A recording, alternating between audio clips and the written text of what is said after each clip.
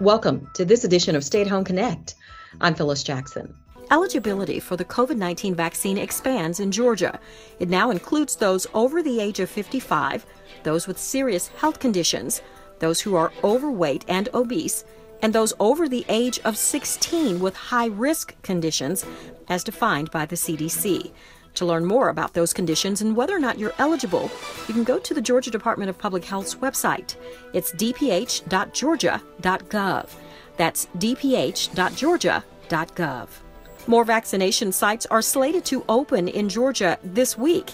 You can get registered for a vaccination by going to myvaccinegeorgia.com. That's myvaccinegeorgia.com. A growing number of European nations are suspending their use of the AstraZeneca vaccine.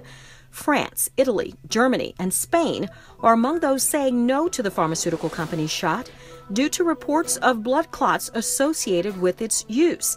Officials with AstraZeneca say there have been a small number of blood clots, but there is no evidence that the vaccine carries an increased risk of clots. Atlanta City Council member Andrea Boone teams up with Humana, Walgreens, and Uber to provide COVID 19 vaccinations in District 10.